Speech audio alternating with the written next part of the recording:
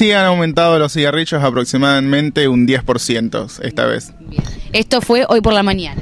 Sí, exactamente, hoy 7 de septiembre. Eh, ¿Cuánto cuestan ahora?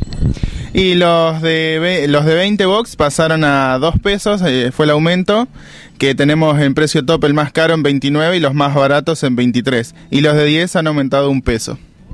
Eh, por ejemplo, las marcas que más pide la gente. Y los que más piden es el Malboro, los Philip y después están las más premium, digamos, que son los Benson, los Parliament o los Virginia, que serían los más caros. ¿Y qué costo tienen, por ejemplo? 29 pesos esos tres últimos. Eh, el fumador, esto ya no lo sorprende, se queja, no deja de fumar por tener un aumento.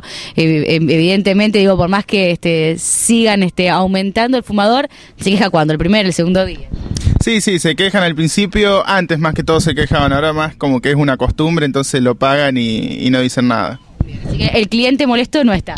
No, últimamente no, ya están acostumbrados. Eh, el último aumento, ¿cuándo había sido aproximadamente? No, la verdad no recuerdo, porque constantemente siguen aumentando. Pero, digamos, hay un porcentaje que en el año aumentan tres o cuatro o hasta más veces, ¿no? Los cigarrillos. Sí, sí, yo calculo que es la segunda o tercera vez ya que aumentan en lo que va el año. Entonces, 10% el fumador, allá saber que no tiene que venir con este lo justo, sino un poquito más. Exactamente, con dos pesitos más y un pesito más el de 10.